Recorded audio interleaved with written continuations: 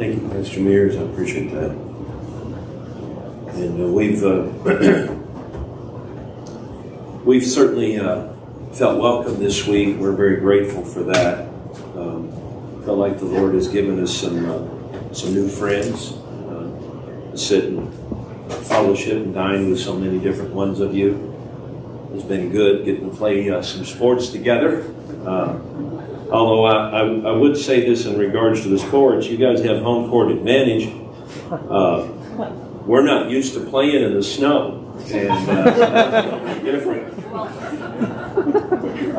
For us, we didn't know it were going to be winter sports up here. There's about an inch of snow out there on the ground now. Our Southern California people aren't used to that, and so that was a little bit different. Our, the, I come from Tennessee and Texas, and we usually keep our cotton down on the ground, and uh, we don't we don't grow it up in the trees. I don't know how y'all do that, but that's different. That's a little, kind of a weird place with all that stuff. But anyways, uh, it's uh, it's been good though. We uh, we're so thankful and grateful to get to to be around so many of you this week, and the messages that, that especially in the morning time have been so good.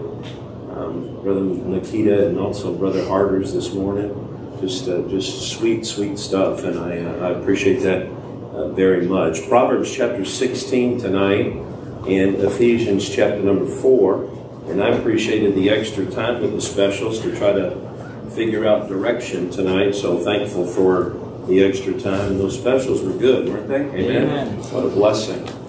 And uh, just sweet music. And uh, thankful uh, for that. Glad that my children and my wife got to be here also this week and enjoy this with us and thankful uh, for every bit of that.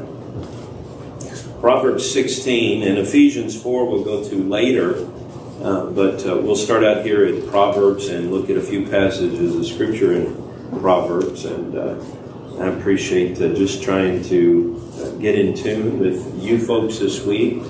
anytime I go to be with a new church and and learn that church. It's a process for me, and uh, I've been doing evangelism for some 20 years now, and um, and uh, every time I go, you know, I want to be in tune with what God's doing in a place. That's what means. Means a whole lot to me.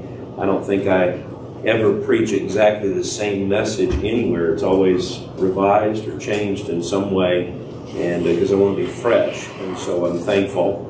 Uh, that uh, the Lord is here, the Lord's working here, and grateful for that.